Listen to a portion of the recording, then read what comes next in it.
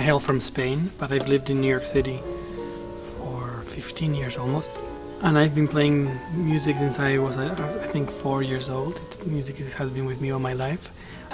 I try to um, to have a take on the music. In other words, what do I think about how what this composer wrote, and how do I think this music could come alive? And we have to um, unlock or, or, or free the music from its notation and bringing it into life, but always from the starting point of trying to understand what the composer was trying to get at. And I try, and if I succeed, it's a great high, and if it does, I don't, well, I have to wait until the next opportunity to be able to try.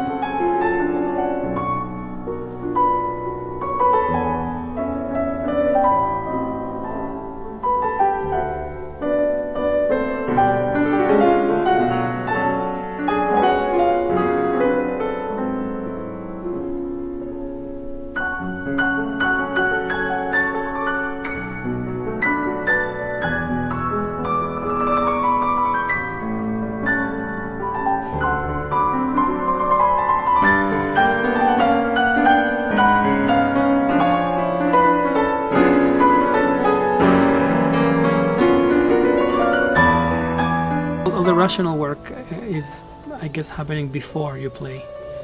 But um, after you've done all that rational, conscious work, they, when you play, it's almost, I think, for, for me, like going into a trance. You have to almost suspend rational judgment and let let the music unfold naturally by itself. And sometimes we don't let it do that, but at best we, we can not interfere with it simply happening.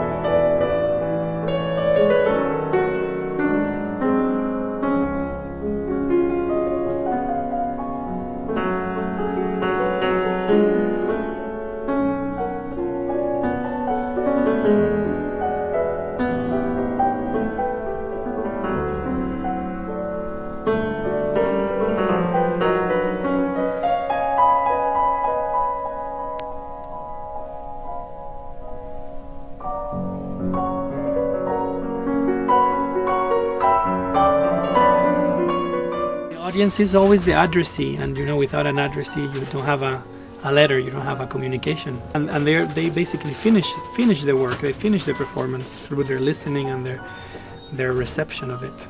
So in a way, they get the best part of it if it happens beautifully.